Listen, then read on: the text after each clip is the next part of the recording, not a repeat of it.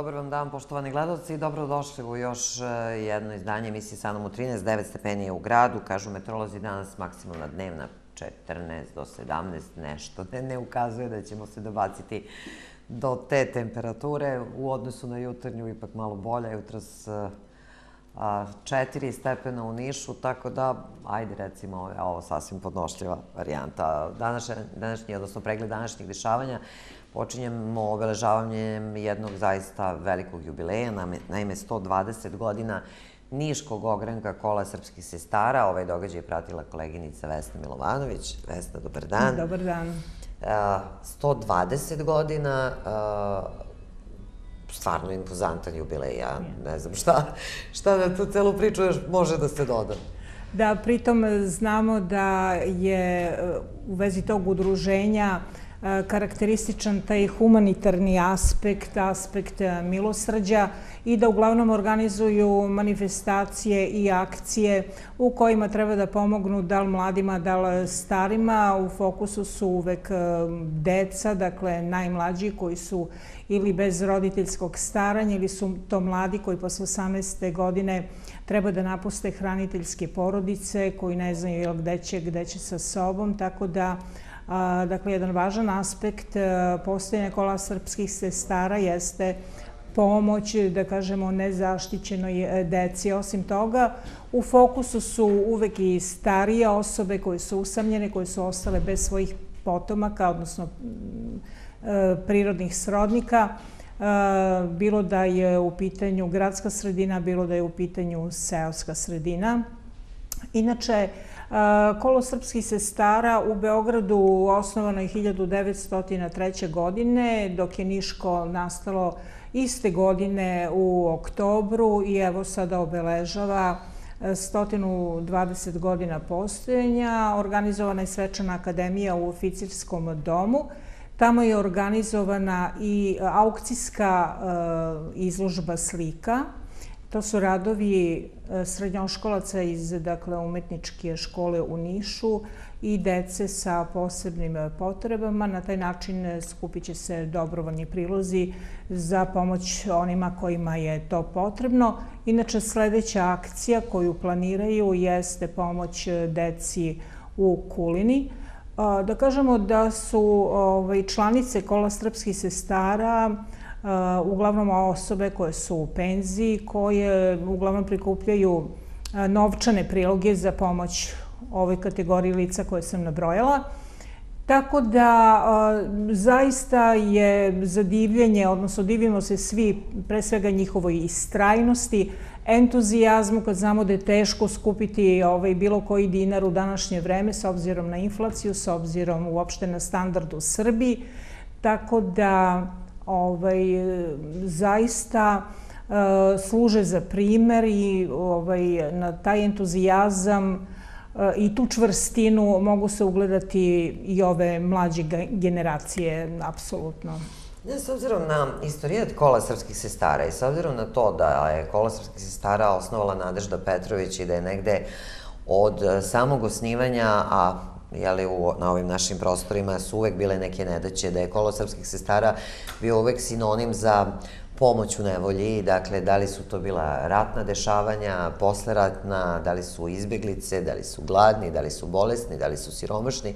Nekako te divne žene, evo, skoro vek i po, e, negde ne prestaju da iznenađuju i sama si rekla tim nekim entuzijazmom, voljom e, i ne samo voljom, već i činjenjem dobra. Pogotovo u vreme kada je činjenje dobra, čini mi se, postalo samo parola kojom se nekako floskula kojom im deklarativno da. mašemo, one su zaista potpuno, potpuno suprotnost od toga. One najmanje mašu i najmanje se ovaj, busaju u prsa, što bi se reklo, a zaista najviše rade za drugi. Pa, mi smo isto svedoci ovaj, da je ovo današnje vreme nekako dominacija onih koji misle da će gramzivošću zlobom, podmetanje mnoge, mnoge drugome da će postići nekakav uspeh, ali vreme tačno pokaže ko je kakav, ko kakav karakter ima, kakve su mu životne vrednosti za koje se zalaže, tako da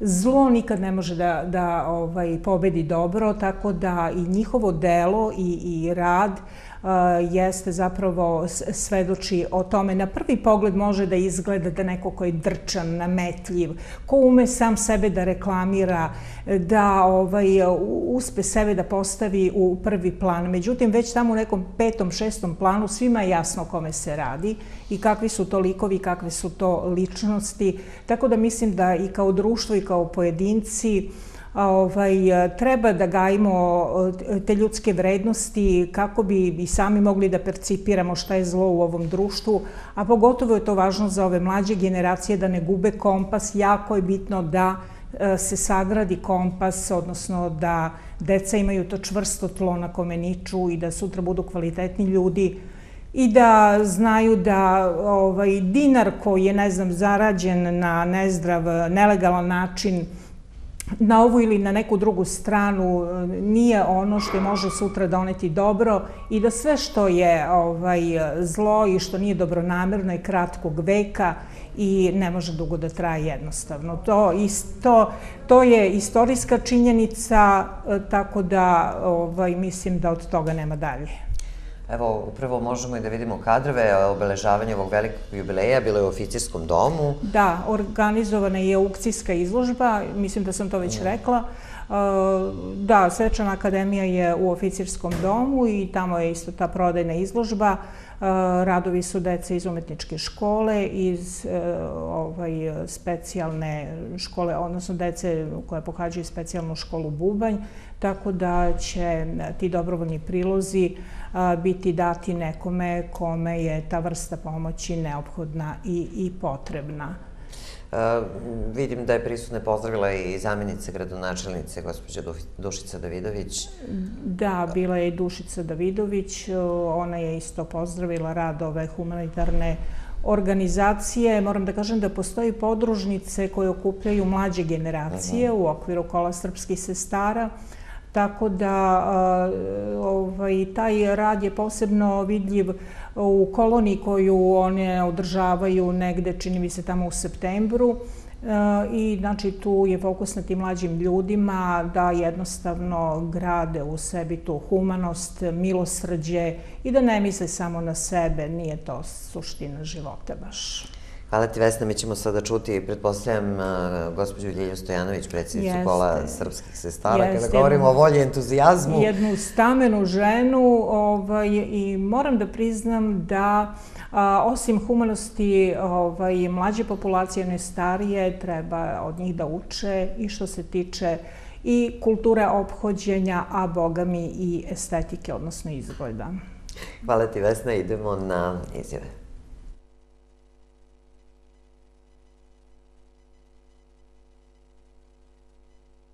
Srpskih sestara u Nišu obeležava 120 godina rada i postojanja. Kažite nam na šta je sve ovo udruženje ponosno, jeste vek i, i petina veka i prošla, ali eto kažite nam šta je ono na šta je Kolo srpskih sestara u Nišu najponosnije? Pa u svakom slučaju najponosnije smo na naše te sve aktivnosti koje se odnose na čovekoljublje, na milosrđe, na pomoć onima kojima je najpotrebnije. E, mi danas radimo po načelima kola iz 1903. godine, kada je kolo Srpske stara u Nišu i osnovano 30. oktobra, znači 1903. A ta načela odnose na humanitarne aktivnosti, negovanje pravoslavnih običaja i tradicija, e, e, sećanje na znamenite ljude i na znamenite događaje, očuvanje srpskog pisma i jezika, zadužbinarstvo. I na sve to smo ponosne, jer toliko mnogo aktivnosti imamo od pomoći dece bez roditeljskog staranja, od pomoći e, deci koja su na neki način ometena u razvoju, od pomoći deci u bolnicama, od pomoći deci koja sa 18 godina izlaze iz hraniteljskih porodica, a nemaju gde i mi im pomažemo. uvek su nam u fokusu deca i stari ljudi, stari ljudi bez ikoga svoga, bez staratelja koji ostaju sami, bilo u gradu, a pogotovo u selima. Tako da na te stvari smo zaista ponosne, ali ponosne smo na i očuvanje srpskog pisma i srpskog jezika, jer kao što kaže Stefan Nemanja, e, narod koji nema svoje pisce i svoje knjigoljubce, knjigopisce ne može se nazvati narodom. Zato je jako potrebno da negujemo srpski jezik i to radimo preko vrlo, vrlo često preko pismenih temata u osnovnim školama, a to su snaga dobrote, srpskim jezikom i pismom do svog identiteta, srpskom pesmom do svog, izvornom pesmom do svog identiteta. Jer također Stefan Nemanja rekao, u malenoj, u, u jednoj maloj frulici, ne većoj od dečijeg prstića, može, može stati pesma čitave Srbije. I nemoj, Čedo, da dozvoliš da ti pred svojim pragom rođenim zaigra tuđe oro i zapeva tuđa pesma. I mi se trudimo da to otrgnemo od zaborava. Kroz koju formu kolo, odnosno udruženje kolo srpskih sestara pomaže uh, subjektima koje ste nabrojali? Uh, prvo, verujte, od svojih sredstava svakoga, svakog meseca kada dobijemo penzije i oni koji još nisu, one koje još nisu penzioneri, odvajamo sredstva za pomoć onima kojima je najpotrebnije, a onda sve više u poslednje vreme preko projekata. Tako da jako smo vremešne, Izučile smo se, da tako kažem, da radimo projekte i to nam zaista pomaže, ali normalno i zahvaljujući dobrotvorima koji imaju sluha za ono što mi radimo. Nekada je zadužbinarstvo bilo češće nego danas, ali mi kažemo kakva su vremena, takve su i zadužbine. Mi imamo nekoliko zadužbina, to je česma, posvećena pukovniku Nikolaju Nikolajeviću Rajevskom u Gornjem Adrovcu, u crkvi, u porti crkve Svete Trojice. Česma u Svetosavskom parku posvećena Milanskom ediktu 17 vekova za 17 česama. Onda smo oslikale, dali da se oslika velika ikona Presvete Bogorodice u Sabornom hramu posle onog velikog požara sa leve strane od oltara.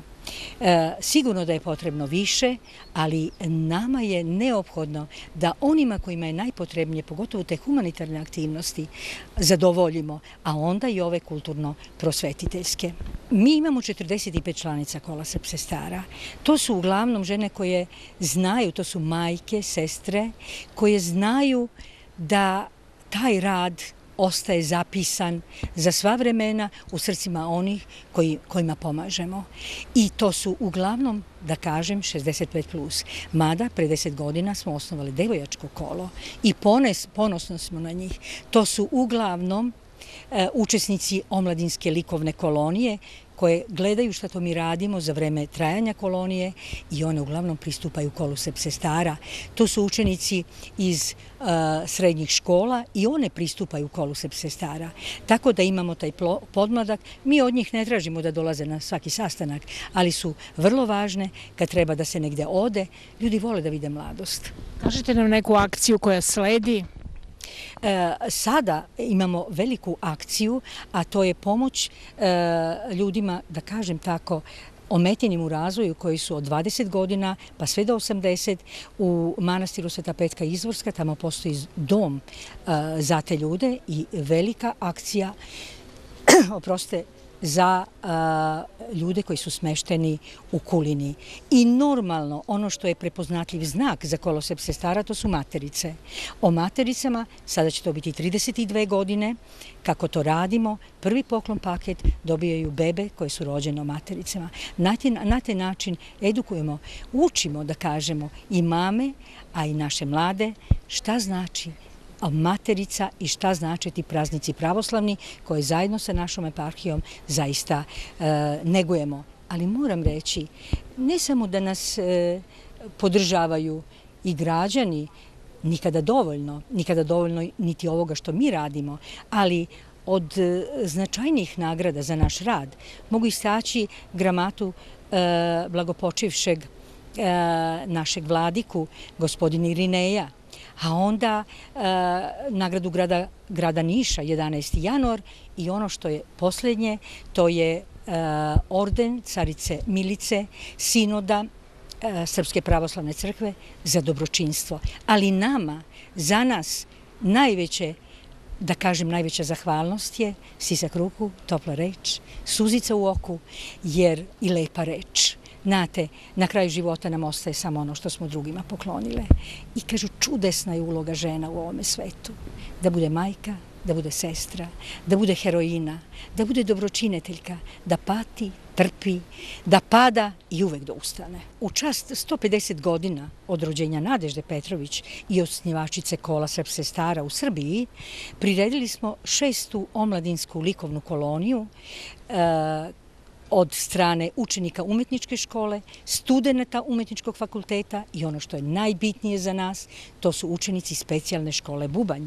Uvek napravimo taj inkluzivni tim da pokažemo da talenat boji svet, ali ruši različitosti.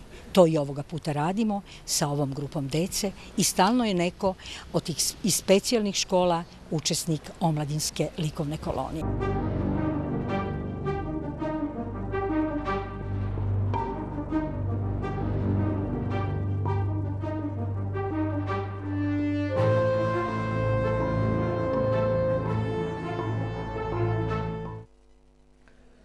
Juče je grad Niš, ali selo Sečanicu, posetila ministarka poljoprivrede Jelena Tanasković. Ona je bila u e, domaćinstvu e, Bojana Mihajlovića koji se bavi stočarstvom, obišla njegovo imanje, ali je razgovarala i sa njim i sa drugim poljoprivrednicima iz ovog sela. Ono što je problematika, odnosno najveći problem ovaj, ovih gazdinstava je problem zemljišta koje im nedostaje. Zapravo zemljište je poprilično usitnjeno, tako da ne mogu da se dobiju adekvatne subvencije na površinu, ali detaljnije o tome u narednim minutima. Kakav je vaš utisak? Koji je ovde najveći problem i može li se rešiti? Pa nisam ja sad čula neki najveći problem. Ono što sam imala priliku sada da čujem od ovih poljoprivrednih proizvođača, od domaćina pa nadalje su to pravi stočari, što je najbitnije i uglavnom se ljudi bave mlečnim govedarstvom. Ono što jeste njihova problematika, koliko vidim, to je zemljište koje im nedostaje ili zemljište koje je dosta usitnjeno i onda ta subvencija po hektaru ne pokriva, ali svakako kako i oni sami kažu, stvar se prilično poboljšala i to je ono što je bitno, da se stvar pomerila, subvencije su sada na vreme, oni to već osjećaju. Evo i sa samim domaćinom smo prošli kroz sve njegove štale, kroz sve farme. Zaista svaka čast kako to izgleda, nemam šta da kažem. Pričali smo o tome kako mu je došla i subvencija po litri mleka i subvencija po grlu.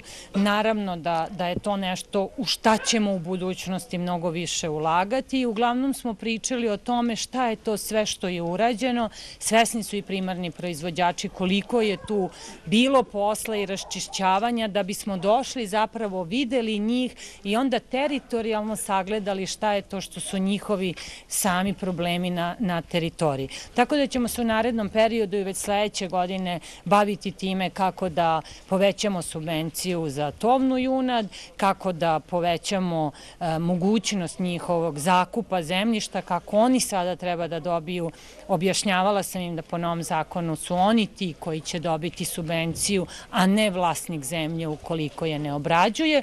I eto tako prosto jedan lepi, prijatan, rekla bih, razgovor ovde na imanju u ovoj mnogobrojnoj porodici i svaka čast na ovome što rade. Ja sam negde stekla utisak da je možda i informisanost problem, da svi poljoprivredni proizvođači nisu baš upućeni u sve mogućnosti koje mogu da iskoriste. I to je tačno. Evo, vidim i ja da, da ima toga. prosto i lokal i mi na Republici očigledno više trebamo da pričamo, više treba da bude ovakvih organizacija. Ja se rado odazovem svakom pozivu.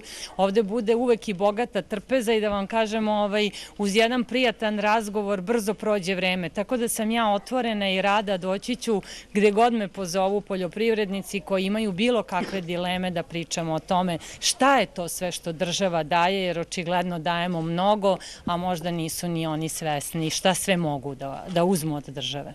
S druge strane, čini mi se da je Agrar dosta doprineo da vi bolje poznajete stanje na terenu prosto da ga vidimo. Sada tek prvi put možemo teritorijalno da vidimo i sve probleme i sve mogućnosti i sve nedostatke i možda neke stvari koje ne koristimo u ovom trenutku, a imamo prirodne resurse za to. To jeste bila glavna tema evo i ovog današnjeg razgovora, tako da, da će to od 2024. što mislim i govore i sam budžet i uopšte strateško opredelenje države da ulaže u poljoprivredu i u sam, da zaštite zaštiti primarnog proizvođača i sam poljoprivredni proces bilo koje poljoprivredne grane i pokazati jer ćemo direktno shodno teritorijalnim potrebama i reagovati u budućnosti.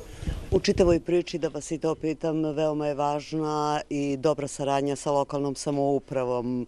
Ako se ne varam, vi ste bili u Velepolju da li beše prošle godine ili kad, i nešto obećali, to nešto je ispunjeno. Jeste, evo to je primer zaista sve pohvale za predsjednika. Nismo mi prošle godine, mi smo ove godine pre samo par da, meseci da. bili u Velepolju u martu mesecu i tad su nam meštani, odnosno poljoprivredni proizvođači konkretno koji se bave vinogradarstvom izrazili potrebu da im treba atarski put, 6 km već završeno i evo vidite kako, kako reaguju i kakvo je zadovoljstvo i to je prava stvar. Kada dođemo, vidimo, dogovorimo se šta će lokal, šta će republika i onda ostane samo rezultat i efekat iza toga. Tako da se ja nadam da će još ovakvih dobrih pozitivnih primera kakav imam ovde sa predsjednikom moći da se pokaže u Srbiji jer mnogo smo toga uradili ove godine na terenu.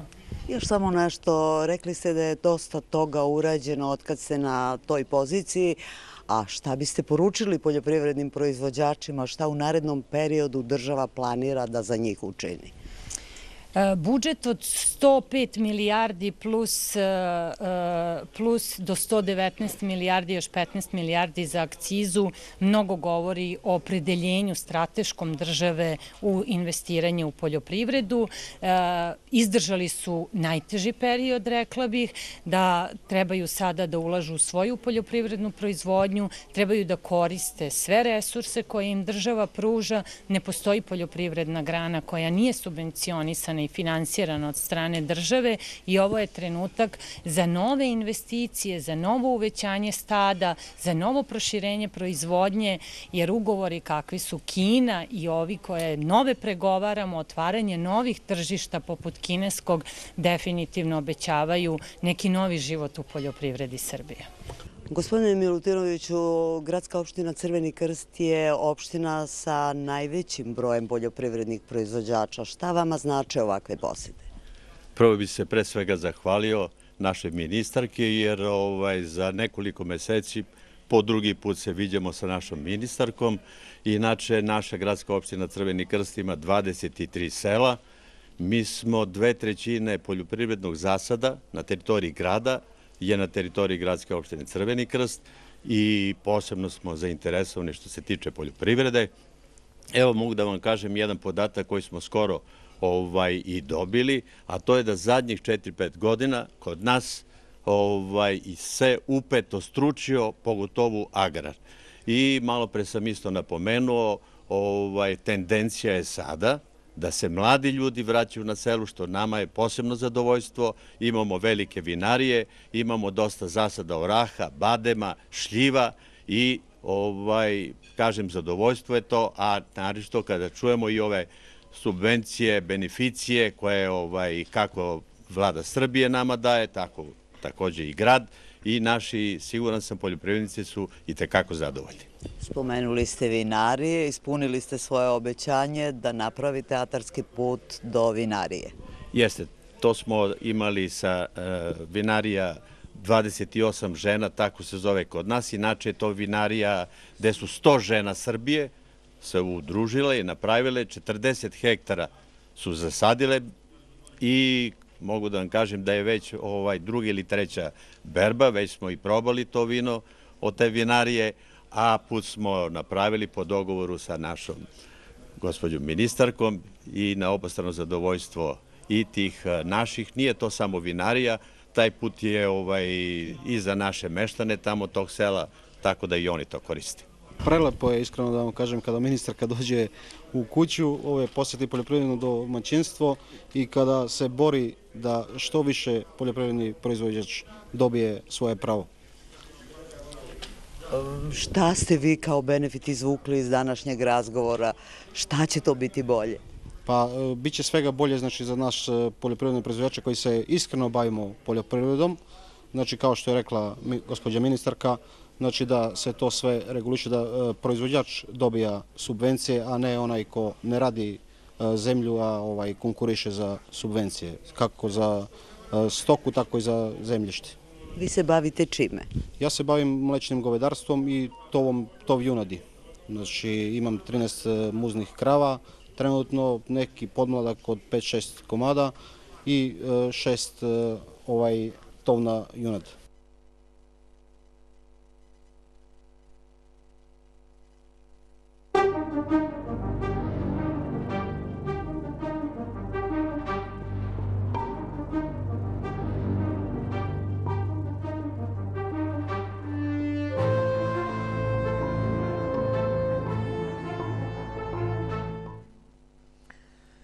Projekat digitalizacije, veće efikasnosti i transparentnosti u radu Skupštine grada Niša e-parlament je u završnoj fazi, već od sledeće sednice glasovi niških odbornika neće biti brojani ručno, već će se prikazivati na ekranima koji su povezani sa tabletima u odborničkim klupama. Podržani od ambasade Švajcarske u Srbiji, realizacija bi trebalo da obuhvati i prenos sednica uživo preko skupštinskog sajta, elektronsko glasanje, kao i video i audio arhivu svih sednica.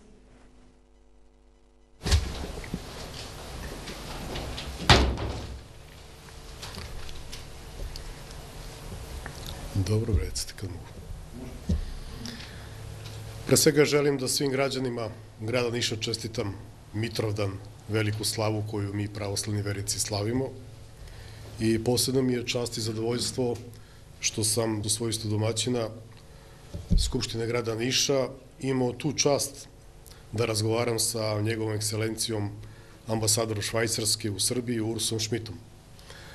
On je 2020. godine prvi put imao e, svoju posetu nekoj od institucija u Republici Srbiji i to baš Skupštini grada Niša. Tada smo razgovarali o implementaciji i digitalizaciji projekta čiji su financijeri Republika Švajcarska, a koji ostvarujemo svi zajedno sa UNDP-em. Ono što smo tada dogovorili, čuli ste malo pre i od njegove ekscelencije, mi smo i ostvarili, a ono što je za svaku pohvalu, to jeste da smo imali i još jedan od projekata koje smo zajedno sa Švajcarskom uradili u Skupštini grada Niša, a to je sastanak mreže sekretara iz Republike Srbije. Dakle, bilo je preko 100 učesnika u toj sesiji i kao što je njegova ekscelencija naveju u našom radnom sastavku Skupština grada Niša i ja lično i sekretar Skupštine grada dobili smo sve pohvale za transparentnost i javnost u radu, za svoju podršku implementaciji projekata koji se finansiraju iz Švajcarske, a koji se implementiraju uz podršku i pomoć UNDP-a.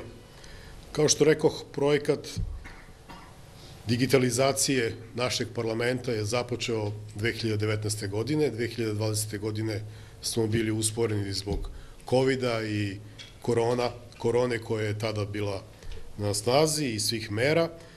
Mi smo u 2021. godini radili sa međukoracima kako bismo unapredili i sam softver i dobili i nov softver, dakle ne samo onaj koji je bio dobijen 2019. godine i u tim međukoracima smo došli do kraja, do implementacije ovog projekta, gde uz pomoć, kažem, UNDP-a i podršku Švajcarske na opšte zadovoljstvo mi smo krenuli i sa radom.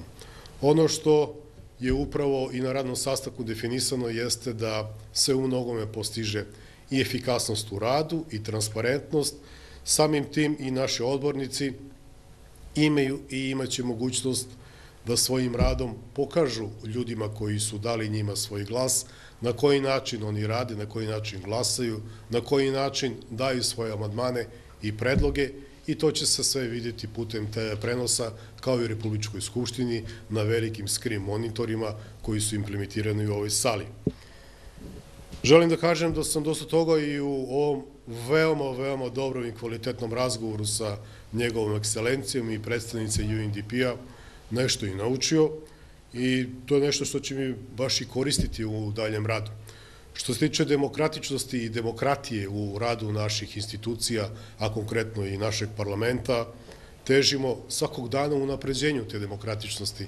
I sam i ovaj projekat e-parlamenta i sam projekat e, mreže sekretara svih skupština lokalnih samouprava u Republici Srbiji, koji je ostvaren i umrežen uz podršku Švajcarske i UNDP-a, govori o našoj transparentnosti. Dakle, na svaki način želimo da naši sugrađani budu upućeni u naš rad, da mogu da svojim predlozima preko svojih izabranih predstavnika što efikasnije učestvuju u radu. E, stepen demokratije Švajcarske, pa i ambasador je rekao da je to sasvim drugačiji sistem i to je sistem direktne demokratije, gde maltene o svakom predlogu, o svakom projektu, o svakom pitanju se radi putem referenduma. I to je nešto čemu treba da teže sve države i sve lokalne samouprave, jer mislim da je to jedan od naj, najdemokratičnijih načina funkcionisanja jedne države i svih lokalnih samouprava u jednoj državi. Well, thank you so much. It is for me a great pleasure to uh, be in Niš again. Hvala vam najljepše. Veliko mi je zadovoljstvo da budem ponovo u Nišu. Kažem ponovo zato što sam već imao zadovoljstvo da budem u zvaničnoj posjeti Nišu 2020. godine, u tom trenutku u društvu predsjednice Švajcarskog parlamenta. Za nas je to bila prilika da posjetimo naravno lokalnu skupštinu grada, Ponovo imamo zadovoljstvo da razgovaram sa predsednikom Skupštine o sprovođenju projekta e-parlamenta, odnosno digitalizaciji rada parlamenta. To je projekat koji podržava vlada Švajcarske, a sprovodi se uz pomoć UNDP-a.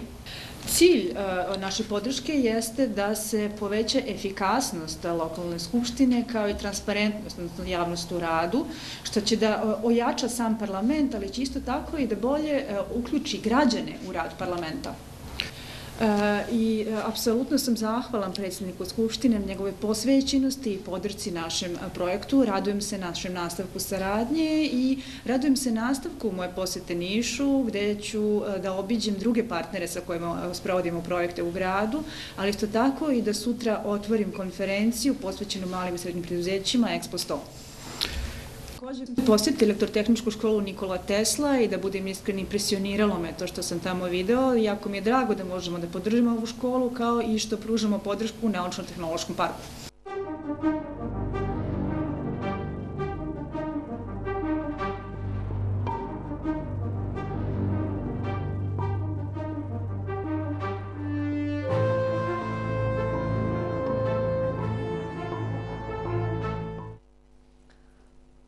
Lepo vreme, drugačiji vremenski uslovi, pomerili su mnoge stvari, malo pomerili grejnu sezonu, pomerili i jesenju setvu. E, da li se to menja klima i kako će to uticati na prinose, slušamo od stručnjaka iz Poljoprivredne savjetodavne i stručne službe. Ova kiša stvarno može da obrađuje naše poljoprivredne proizvođače, ratare, e, koji su je željno očekivali, jer dug period je bio bez kiša, sigurno preko dva meseca, negdje početkom avgusta su bile poslednje ozbiljnije kiše i e, zemljište je vrlo suvo. E, zbog velikih kiša u maju i junu e, zemljište je pokvarilo fizičke osobine, naime došlo je do velikog sabijanja zemljišta, pogotovo na kukuruzima, na predkulturama kukuruza, gde je vrlo teško izvršiti osnovnu obradu i predstavnu pripremu zemljišta, proizvođači koji su imali malo e, teže oruđe, jače traktore i teške tanjirače, uspeli su da redukovanom obradom zemljišta odrade e, osnovnu obradu i presrednu pripremu na nekih 15 do 18 cm, što je bilo sasvim dovoljno da se odradi setva i da u takvim uslovima, zahvaljujući ovoj kiši, da se očekuje i vrlo brzo nicanje ovih useva i formiranje dobrih sklopova. Optimalni rok setve je negde već i prošao, međutim nismo imali optimalne uslove. zahvaljujući ovim padavinima, sigurno se može očekivati da se stvore povoljni uslovi i za setvu, za osnovnu obradu, za presljenu pripremu i za nicanje posijanih useva. Koliko je u optimum roku posejano pšenice, a, a koliko tek ostaje se? Vrlo malo, možda ne, nema ni 10%. Kažem, to su uglavnom proizvođači koji su raspolagali tim teškim oruđima, zatim proizvođači koji su zato što su imali predkulturu, neku raniju kulturu poput, ozimog, poput graška, soje ili izvinjam se, proizvođači koji su imali neku raniju predkulturu poput nekog ranijeg povrća ili stočnog graška ili grahorice, uspeli su da iskoriste onu vlagu početkom avgusta i da obave oranje i sada su mogli da poseju. To je vrlo mali broj proizvođača i e, mogu reći da je ta setva uglavnom e, bila neposredno pred najavu ovih kiša, koje su, nažalost, pre nekoliko dana bile u vrlo malom obimu, nekih 7 do 8 litra, što je dosta malo, ali zahvaljujući ovim noćašnjim i današnjim padovinama, sigurno da će i ovi usevi da niknu i da se stvore povoljni uslovi da, kao što rekao, da se obavi e, i setva. Sigurno da će se obim setve ove godine e, smanjiti u odnosu na ranije godine iz više razloga. Eto, pomenuli smo i ovo zakašnjenje u setvi. Znači, mi smo daleko van optimalnog roka setve i mnogi proizvođači su čekali da najđu povoljni uslovi, pa su i odustali od setve na primjer ječma, tritikala koji su trebali već biti posijani, koji su nešto osetljivi na niske temperature, tako da i taj razlog je, će uticati da se izvestan broj površina da se odustane od uh, izvesnog broja površina pod uh, ozimim strnim žitima, tako da će se ove površine popuniti prolećnim kulturama, možda strninama, možda kukuruzom ili nekom drugom kulturom. Međutim, jedan od važnih razloga, ko što rekao ste, jeste i e, ekonomski razlog, dakle, e, veliki pad cene pšenice u odnosu na prošlu godinu i pretprošlu, kada je ona bila negde preko 35 dinara, a sada je negde od 14 do 18, zavisno opet od kvaliteta i ponude tržišta i na tržištu i sigurno da je to e, veoma veliki razlog zbog čega će proizvođači odustati od ovogodišnje setve. Još se pre samog početka optimalnog roka setve nagoveštavalo da će bar 20 do 30% biti manje površina zasejano, upravo iz razloga što su proizvođači nezadovoljni cenom, što e, se dosta sredstava e, istrošilo u setvi pšenice prošle godine i u setvi kukuruza proletos. Dakle, izuzetno visoke cene, pre svega džubriva, pa onda i semena u prošlogodišnjoj setvi, a vrlo niski prinosi i na kraju e, jako niske cene u odnosu na ulaganja. To su cene koje su bile pre nekoliko godina prisutne cene na nivou nekog proseka 14 do 16 dinara. Međutim, ulaganja koja su prošle godine bila enormno velika, e, za hektar je trebalo da bi se postigne neki, da bi se postigao neki prinos od 5 tone po hektaru 110 do 120 hiljada po hektaru, što je dva puta više za najveći broj proizvođača koji se bave ratarstvom, a za neki i mnogo veći uh, ulog. Tako da će i ova setva, iako bude odrađena, biti praćena smanjenjem ulaganjima u setvi, uh, manja upotreba đubriva, očekuje se takođe da se veći procenat uh, zasejanih površina bude posejan semenom iz ambara, nedeklarisanim i nedorađenim semenom, I sve to kad se uzme u obzir, sigurno da se ne može opet očekivati zadovoljavajući kvalitet. Ako godina bude poput ove, bit će sigurno pojave bolesti. Ako zime budu blage kao što su zadnjih nekoliko, prezime će sve te štetočine, bolesti i sigurno da će opet stvoriti uslove da se sledeće godine mora e, morati da odradi i zaštita protiv bolesti, što automatski povećava troškove. I to su bili pogotovo e, veći troškovi u ovoj godini, značajno ulaganje u hemiju, u zaštitu protiv bolesti, trebalo je bar dva, možda i tri puta odraditi zaštitu, a s obzirom na ovu cenu, sve kad se obuhvati e, značajno veliki ekonomski razlog zbog čega će proizvođači odustati od setva.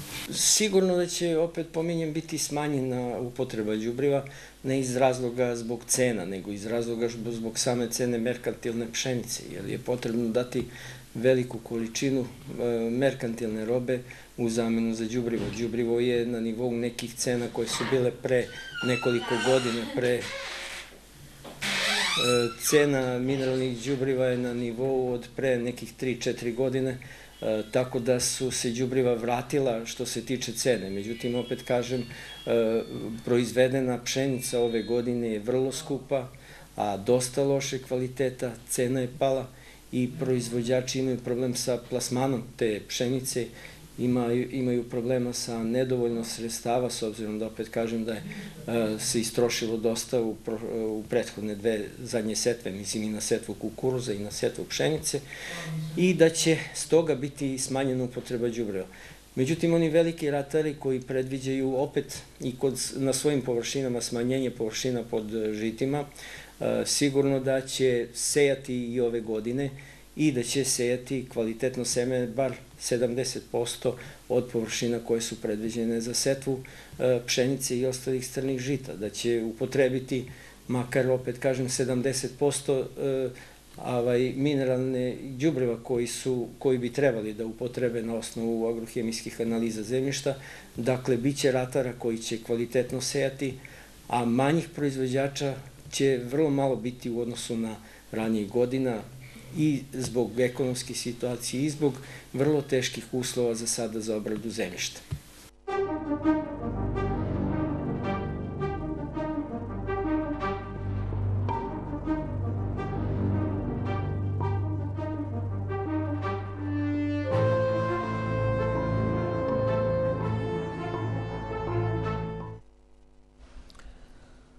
Detaljnije o današnjim događajima gledajte u narednim informativnim emisijama. Prvo izdanje slike dana je na programu u 15 sati 45 minuta. U nastavku programa slede najnovije vesti iz Pirota. Hvala što nas pratite i ostanite uz Belmi. Dobar dan, poštovani gledalci. Pratite najnovije vesti iz Pirota. Moje ime je Tijena Tošić. Predsednik Srbije Aleksandar Vučić posetit će Pirot sutra, 9. novembra, kada će se u Halikeji od 16 sati održati veliki miting Srpske napredne stranke. Pored predsednika Republike, na mitingu će govoriti i predsednik SNS-a Miloš Vučević. U periodu od 12 do 18 sati važiće izmenjeni režim saobraćaja u ulicama Takovska, Jefimina i Jovana Skerlića. I to potpuna obustava saobraćaja za motorna vozila na delu Takovske ulice od raskrsnice sa Ustaničkom do raskrsnice sa ulicom Kragujevački oktobar, kao i zabrana pristupa motornim vozilima u Takovsku ulicu iz ulice Jefimina, Jovana Skerlića i ostalih pristupnih krakova. U svečanoj sali Gradske uprave Pirot danas su uručeni ugovori korisnicima subvencija dobijenih na konkursu grada Pirota za podršku oživljavanju starih i umetničkih zanata. Uručeno je sedam ugovora, a za te namene opredeljena su sredstva u iznosu od milion i petsto hiljada dinara. Sedmoro preduzetnika i vlasnika malih preduzeća dobilo je subvencije za razvoj i oživljavanje starih i umetničkih zanata. Njima je ugovore uručio predsednik privremenog organa grada Pirota Vladan Vasić. Mi pokušavamo zaista u poslednjih desetak i više godina da postaknemo preduzetništvo u Pirotu i da osmislimo mere koje će dati efekta i kao što ste čuli, ove godine imamo 10 mera. Dosta je bilo veliko raspoloženje ljudi da konkurišu i sve mere su i dobro prihvaćene i nadam se imaju dobre rezultate. Ovo je mera koja treba da podstakne oživljavanje starih zanata i umetničkih zanata, a pored toga imamo naravno i druge mere. Ja ću pročitati kratko da smo za ovu meru izdvojili milijon i po dinara i da ćemo subvencionisati sedam korisnika, od toga pet iz grupe umetničkih i starih zanata i to iz, dve iz oblasti cilimarstva, jedan ćurčisko-kožarska radnja, to je stvarno nešto što je verovatno poprilično staro i drago mi je da se obnavlja, jedna grčarska radnja i jedna sodačijska radnja. Preko lokalnog saveta za zapošljavanje od početka godine realizovano je ukupno 10 mera podrške u cilju smanjenja nezaposlenosti u Pirotu. Nažalost, svi smo svesni činjenice da stari zanati polako odumiru i upravo ovakva podrška lokalne samuprave, odnosno grada Pirota je preko potrebna kako bi učinili svoje poslovanje udrživim. Jer zahvaljujući svima vama koji se bavite ovim poslovima, vi ste praktično čuvari tradicije i nasledđa svakoga kraja i zbog vas, odnosno zahvaljujući vama i Pirut i mnogi drugi krajevi su prepoznatljivi na geografskoj karti. Odobravene su subvencije u pojedinačnom iznosu od 90 do 330 hiljada dinara. Dragan Antić bavi se grčarstvom već 30 godina. 220 hiljada dinara koje je dobio preko ovog programa podrške će iskoristiti za nabavku nove opreme. Bavim se proizvodnjom grnčarije. E, ova sredstva sam konkurisao za, da, za dodelu pećke za pečenje te grnčarije. Iste te grnčarije koje proizvode, normalno. Pa ova sredstva će mnogo da mi znače, jer mogu da proširim proizvodnju, možda u dogledno vreme zaposlim nekog radnika i tako. E, proizvode prodajem po celoj Srbiji, tako reći. Idemo po manifestacijama, po, po vašarima, po sajmovima. Pa najviše se traži naš, naš proizvod, ove pekače koje proizvodimo, ove šerpe, lonce i to. Nadica Lukić svoju kreativnost ispoljava kroz suvenire koje izrađuje. Odobrena su je sredstva u iznosu od 110.000 dinara i već su iskorišćena na pravi način. Pa znači će mi mnogo za lepši, kvalitetniji, bolji i brži rad. Uzeli smo štampač, 3D štampač i kater za sečenje papira. Da, kako da nemamo pirotski kačkavalj, pirotsku peglanu kobasicu, imamo za dani banice, za dani sušenice i tako, sve namenski radimo. Sodođijska radnja Karanfil poznata je po izradi pirotskog klakera. Podržana je sa 330.000 dinara i novac će iskoristiti za angažovanje još jednog radnika. A tajna je u tome što se receptura nije menjala godinama. Znači, klaker, ovaj koji ja pravim, je pravio još moj deda. Znači, dionica postoji još od 1946. godine, receptura nije menjana, tradicionalna i onda je ukus je isti kao što je nekad bio, ambalažu se trudimo znači, da bude kao što je nekad bila, da održimo praktično to, taj, taj zanat da, da bude kao što je nekad bio. Nije, nije potražnja kao što je nekad bila, u principu trudimo se da širimo tržište, nekad je znači, bilo mnogo, mnogo bolje. Kroz 10 mera realizovanih ove godine za podršku zapošljavanju i samozapošljavanju izdvojeno je ukupno 50 miliona dinara. Novinarka i književnica Kaja Pančić-Milenković dobitnica je prestižnog novinarskog priznanja Boško Milovanović za intervju sa akademikom Jasminom Grković-Major, istoričarem jezika, koji je objavljen u nedeljniku Sloboda u martu ove godine. Na konkursu Srpskog prosvetnog i kulturnog društva Prosveta i Srebrnice za dodelu novinarske nagrade Boško Milovanović u konkurenciji 30 prispelih radova iz Bosne i Hercegovine, Crne Gore i Srbije, žiri je doneo jednoglasnu odluku da nagrada pripadne tekstu intervju akademik dr. Jasmina Grković-Major, istoričar jezika, autorke Kaje Pančić-Milenković, koja je više puta nagrađivana za svoju poeziju, a ovo je njena prva novinarska nagrada. Svakako, kao i svaka nagrada, za mene je značajna. A to što je prva, naročito, drago mi je što ima neki regionalni predznak. Peti put se organizuje taj konkurs. Srebrenica u konkurenciji od 30 radova. Moj intervju sa gospođom Jasminom Grković-Major, akademikom, istoričarom jezika, je ocenjen kao najbolji, njima najzanimljiviji, najostvareniji novinarski i svakako da me obradovalo obaveštenje da sam ja dobila jedne nagrada, nema prva, druga, treća, nego jedna je i tako.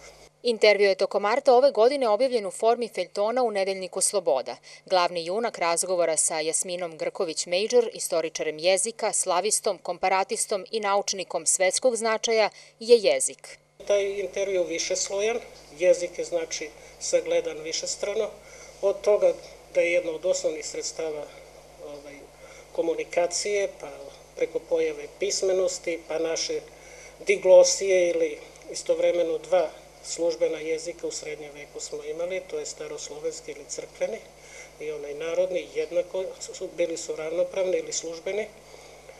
Do današnjeg vremena i pitanja, odnosno saznanja o tome gde, gde smo mi u stvari sa naukom o jeziku, sa istorijom jezika, u odnosu na druge države, na zemlji iz okruženja prvo, pa na evropskom do svetskog nivoa, jer ono je istraživač svetskog formata, direktni nastavak ili nastavljač imena i dela Milke i Aleksandra Belića, njihov najbolji student, uglavnom zastupljena u svim ovim međunarodnim timovima istraživačkim, globalnim, međunarodnim, svetskim. Kada sam pomenula jednom prijatelju sa filozofskog fakulteta u Nišu, odnosno sa filološkog, da bih htela sa njom da razgovara, on je otprilike to prokomentarisao, ma gde sa njom, pa mi njoj ne možemo ni kafu da kuvamo, toliko je ona ovaj, značajno ime, da je to jednostavno nedostižna veličina da u današnjem trenutku te naše filološke nauke, ali s druge strane iz razgovora saznajemo da ona sarađuje sa svim katedrama srbistike, ne samo u Srbiji, nego i u, u Republici Srpskoj i sa svim slavističkim društvima od ovih zemalja slovenskih zemalja gde se učiti ili govori slovenskim jezicima pa do svih kontinenta.